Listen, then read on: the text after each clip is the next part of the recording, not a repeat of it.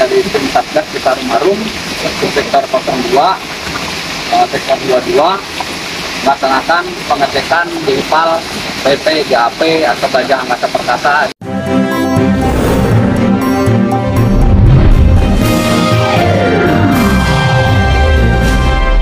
DNNTV, Bandung.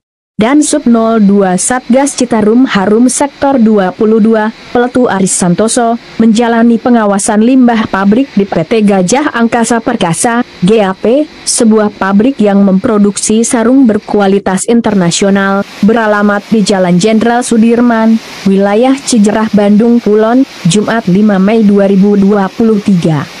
Pada pengawasan ini, merupakan program masif Satgas Citarum Harum Sektor 22, dilakukan antar pabrik dan pelaku industri lainnya yang berada di wilayah Ya, kerja sektor dari 22 outlet. bertujuan untuk menjaga keutuhan sungai berikut pencemaran supaya semakin maju dari waktu ke waktu hingga berkelanjutan.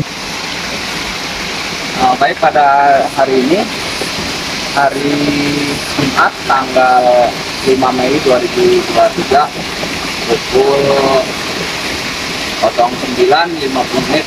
Saat ini kami dari tim Satgas Citarum Harum sektor 02 eh, sektor 22 melaksanakan pengecekan di IPAL PT GAP atau Gajah Angkasa Perkasa yang berlokasi atau beralamat di wilayah Kelurahan Cijerah, Kecamatan Batu saat ini kondisi air di batas tersebut dengan pH 7 warna air bening tidak berbau tidak berbusa.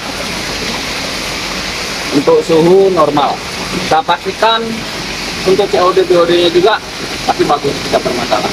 Dan ini bisa menjadi contoh untuk pelaku-pelaku usaha yang lain baik industri maupun domestik Di tempat yang sama, Johannes Indra selaku manajer engineering PT GAP mengutarakan keseriusannya dalam mengelola baku mutu limbah supaya tetap terjaga dengan baik, yaitu menyiapkan fasilitas yang mumpuni. Hal ini baik personel maupun alat atau mesin. Kalau kita di sini rutin melakukan perawatan semua peralatan di instalasi pengolahan limbah dari pompa-pompa, dari eh, blower buat lab biologi, masuk di alat pengolahan flash watering. Jadi di sini kita ada tiga ada screwpress, ada gelpress, ada. Eh, kemarin kita juga melakukan peremajaan, jadi ada unit baru ini peremajaan dari belpress yang lama yang sudah cukup usia ini, jadi kita remajakan ke unit yang baru. Sudah tidak efisien, hasilnya juga sudah kurang bagus. Pak. Siap, makasih Pak. Jadi setelah tadi kita uh, pengecekan di IPAL limbah cairnya, sekarang kita pengecekan di limbah padatnya, yaitu limbah ketiga hasil dari proses pengolahan limbah cair. Di sini PT GAP ini sudah menggunakan mesin belpress, jadi ketika dia diproses di sini nanti begitu keluar di sebelah itu sudah kering, jadi sudah sangat efektif. Tentunya, hal ini menyangkut kepada kepentingan perusahaan supaya tidak merugikan negara maupun lingkungan. Kalau yang belpress ini perawatannya rada lumayan, soalnya banyak bearing, ada ada pneumatiknya, jadi perawatannya harus ekstra sih Pak. Kalau yang ini, yang kita punya punya satu unit yang lebih lama sana, itu perawatannya sangat ringan. Jadi hanya pembersihan saja. Hasil lagi limbah padat dari dua-dua macam ini cukup baik Pak. Baik ya.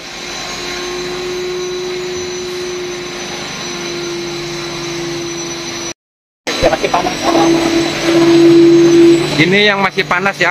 Ya, Oh, tertutup ya? Di sini. Ya. Oh, ini.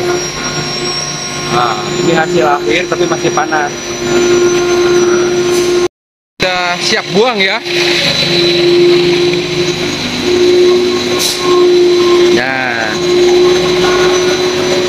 Jadi setelah tadi untuk limbah ketiga maupun limbah padat itu diolah di mesin belpress maupun mesin pengering, nah ini hasilnya seperti ini.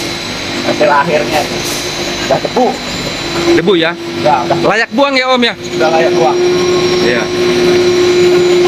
Pak Indra, Ya, Pak. itu dibuangnya ke mana kira-kira? ke pihak ketiga yang punya izin Pak. Iya. Khusus ya. Oke. Pengelolaan limbah B3 limbah padat ini. Demikian dilaporkan DNNTV Kota Bandung, kontributor Jovina. Pak, Cara menjaga baku mutu stabilitasnya dari limbah tadi itu seperti apa Pak? Eh, kalau menjaga baku mutu sih otomatis ujung tombak di operator Pak ya. Jadi di operator mereka harus paham betul. Jadi eh, selain kalau dari kita kan nyiapin dari sistem ya, dari sistem dari uh, biologi, bahkan dari kualifikasi biologi sampai bak kimia sistem kita udah siapin gitu gitu. Nah terus eh, ujung tombak juga terakhir di posisi operator. Mereka harus ngerti, harus paham bagaimana cara mengolah mengenai nanti limbah masuk kondisinya seperti apa, pemberian chemicalnya seperti apa, terus perawatan-perawatan pemberian nutrisi di bab biologinya seperti apa, itu kan sesuai dengan SOP nanti mereka harus lakukan. Kalau limbah padat tuh kan dari posisi dari limbah cair kan kita mengeluarkan eh, apa namanya lumpur Endapan, ya, endapan. lumpur, endapan, endapan itu nanti yang kita tarik nanti kita olah di sini, ini pengeringan. Selamat pagi Ibu. Eh, minta izin Bapak izin. Iya, sama-sama. Bagaimana Bu perkembangan dari PT GAP selama ini Bu? Alhamdulillah luar biasa secara keseluruhan ya order kita stabil Pak Hmm. mereka tetap eksis dan kita berharap dari waktu ke waktu ya perusahaan kita tetap bisa memberikan warna buat industri tekstil di Indonesia untuk lebih baik dan lebih positif pengolahan limbahnya ya kita seperti yang Bapak ketahui ya kita sudah punya tim khusus yang terus menerus warna mengenai pengelolaan limbahnya gitu ya supaya tidak memberikan dampak yang signifikan bagi lingkungan dan masyarakat sekitarnya. Seperti yang Bapak lihat sendiri tadi sudah kunjungan ke lapangan survei ya kita uh, tetap patuh dan tertib terhadap uh, standar yang ditetapkan oleh pemerintah. Bagaimana kita mengelola dan membuat supaya tidak memberikan pencemaran Siap, makasih Bu.